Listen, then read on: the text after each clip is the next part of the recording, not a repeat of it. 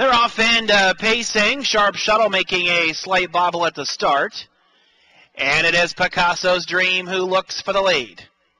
In their second, Dakota's Bridgman. Meadowland Tess is there in third and now lurking to the outside. Gina Marie P is fourth. In fifth is Big George H. Red is next. Sharp Shuttle behind that one with Mainline Hall and Fueled and Waiting. On to the first quarter, Meadow Meadowland Tess now overhauls the leader in 27 and 4. Picasso's Dream races in second. On the outside, Big George H is third.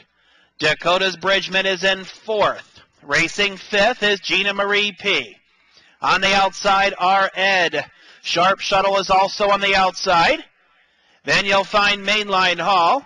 And nothing, yes, far from Fueled and Waiting. Pacing by the half, 56 and 3. And with the lead, it is a Meadowland Tess on the outside. Big George H. These two are slugging it out. Racing third, Picasso's Dream. Our Ed is in fourth. Fifth on the inside, Dakota's Bridgman. Next is Gina Marie P. Sharp shuttles on the outside. Three wide mainline hall with Fueled and Waiting. Moving to three quarters on the outside, Big George H putting in a big effort. Inside is Meadowland Tess. R. Ed is moving up. Three quarters and 126. They'll round their final turn. Charlino and Big George H has them by one. R. Ed is trying to gun him down. Meadowland Tess desperate to hang in there. Trying to kick home is Dakota's Bridgman. They turn for home, and it's the white shadow roll of Big George H who has them here, and Big George H will win it. Second. Ed. Third was Meadowland Tess in 155 and 4.